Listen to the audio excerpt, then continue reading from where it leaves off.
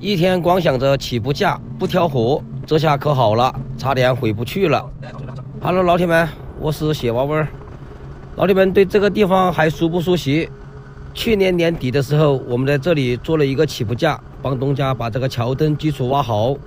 现在年过完了，东家的这个桥啊已经搭好了。今天又把我们喊过来，让我们在这个前方给他挖一个保坎基础槽。今天来干活的时候，我就看了一下天气预报，看这个天呐，今天说有小雨，我就问了东家，这个下小雨影不影响？东家说没事，先挖起来再说，有可能这个雨下不下来。其实东家也在抢时间，他也想把这个宝坎搭好，搭好了之后啊，好出门打工。东家急，其实我也急，因为今天我接了两个起步价活。所以我就问东家，下雨影不影响？如果影响的话，我就先不来挖，等雨停了再来。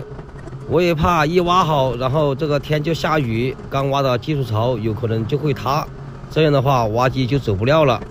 东家掐指一算，说今天无风无雨，赶快来挖，挖了呀，他好到混凝土打垫层。这个二十来米的技术槽我们还没有挖完，突然来了一阵妖风，到处吹得尘土飞扬。这是要下雨的前兆啊！我们赶快挖，挖好了啊，好把挖机开上去。一说到把挖机开上去，此刻我却傻眼了。这个小火锅就这个条件，这个挖机怎么上去呢？老司机也遇到了新问题。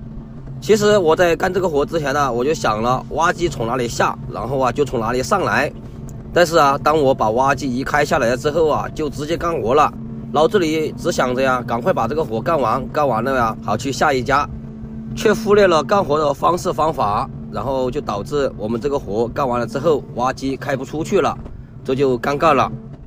现在我们这个基础槽已经挖好了，但是我们挖机又从这边过来的时候，又把这个泥巴压下去了，我们只有边退边把这个泥巴又清起来，这真的是老司机遇到新问题了，几十年的挖机也算是白开了。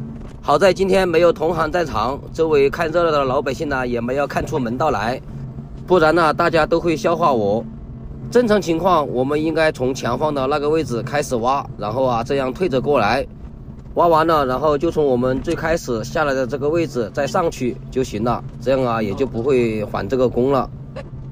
我们下来的这个位置，这个底部稍微要宽一点，然后这个坡要缓一点，上去的话也就好上去一点。我们把所有的活干完了，也清完了之后，准备从这里爬上去。但是我们挖下的这个泥巴有水，就导致我们这个履带打滑，车子爬不上去了。当时我尝试了几种方法都没有爬上去，这个路啊也不敢使劲挖，生怕把这个路挖坏了。然后啊把车子转过来推得上去也不行。然后我们把之前挖起来的这个稀泥巴给它挖开，挖开了之后看看能不能爬上去。但是我们试了一下，还是不行，因为我们挖机长度不够啊，够不到前面的路边，所以就导致我们车子借不到力，所以啊，这个车子就爬不上去了。当时把我慌的呀，难道说今天我这个挖机只能搁在这里了？要是被同行知道了，那还不笑到大牙呀？那我以后卸娃娃还怎么混呢？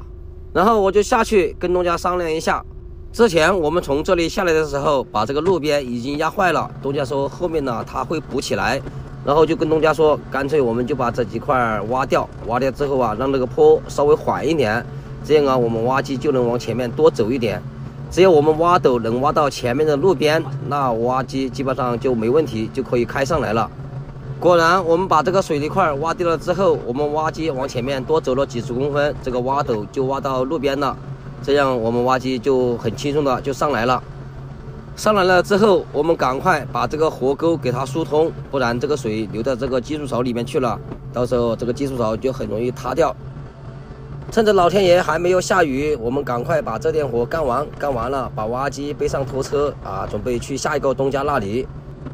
我们刚把挖机拖到下个东家这里，这个天就开始下雨了，而且这个雨呀下的还有一点大。我们只有先把挖机下下来，先停到这里，等这个雨停了之后啊，再来干这个活。时间来到了第二天，昨天那个雨没有下一会儿就停了，雨也不是很大。之前我们挖的那个基础槽应该是没有问题的。今天这个活，东家年前把这个房子已经拆了，当时喊我们来，我们没有空，就喊的同行的挖机来拆的。当时把房子拆了，打算说把这个砖块挖出去，把这个场地大概弄平，弄平了就可以放线挖基础槽。